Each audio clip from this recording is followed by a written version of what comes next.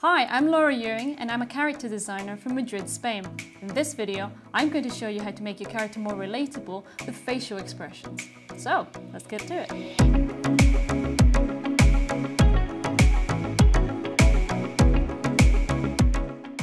So let me show you the expressions for Haldor. This is a pose, the first one, oh, where he's pretty calm, normal, he even looks a bit serious. So we're gonna look at his eyes, his mask. It's pretty relaxed. What happens when he gets surprised, like this one? Look at these eyebrows, they go from here all the way up to here. So this skin is gonna be pulled straight up, which in turn should give him actually, now that I'm at it, a few lines up here. Because all the different skin that's here is now being just stuck on top. The older you get, the more of them you have. I'm just gonna give them a few really small ones right here. Since it's not very old man or anything. And then what happens? His mouth is wide open, going straight down.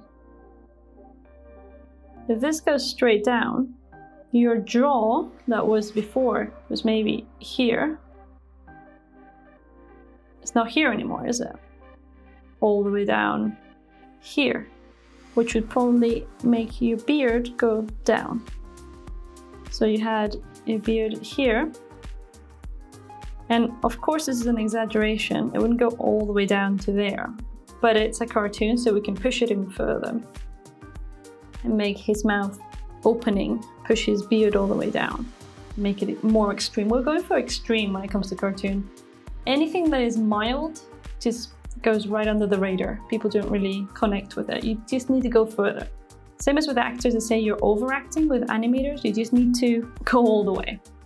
To do this one, what I was thinking was, since I have all the very nice and woolly sides to him, I decided to go all the way across like this because he's sad, so his shoulders are gonna slump down. You know, when you're sad, you, just, you lose the energy and you go down, right?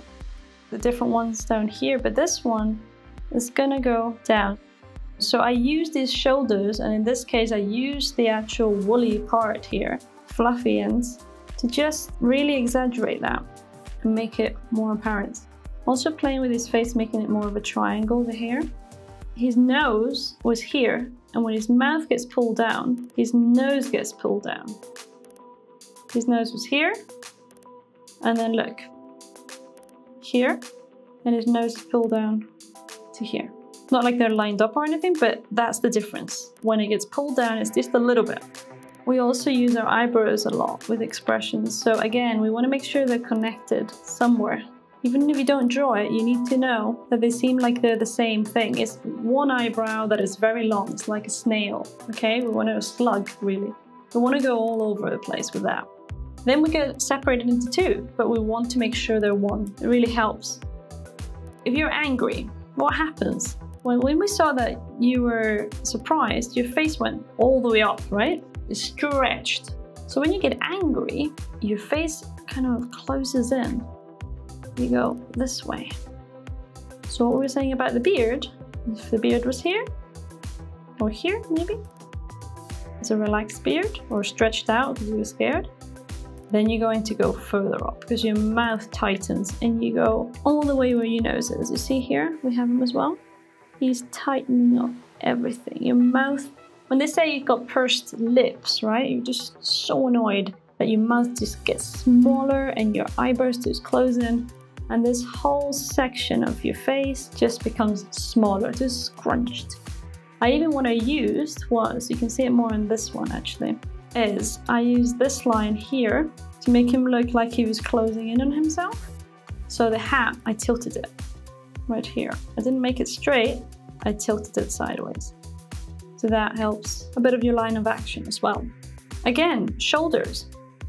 Same as when I was sad in this one. Well, I'm saying I was because I'm feeling this. I try and feel what my character feels. If I'm very happy I can't draw an angry person, I just try and get myself in the mood. So people can say I look really stubborn sometimes. It's because my character's stubborn.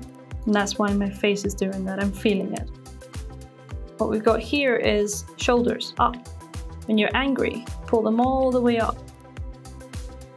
You tense your hands, just overall annoyed. See, if I just do these lines, it feels like he's angrier.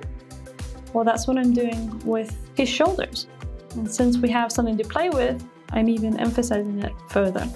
And here, when he's trying to be cocky, for example, I don't know, maybe in some moment he will be. So what I did was use the eyebrows again, see how they're connected? They're not separated. They're working together in the same plane. See how it joins up there?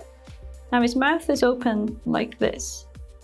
So we're pushing skin up. So if you were to see what's under the hair right now, you would see that this eye is going to be closed in a little bit.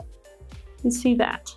Right now you've got the hair on top, but if you were to see it without the hair, the skin on his cheeks would be pushed up by the mouth all the way up to that eye. The nose is a little bit higher here because the mouth is more open to one side. And then instead of having the little bit of bottom of your beard here, it moves up a little bit to the side for the same reason. It just gets pulled.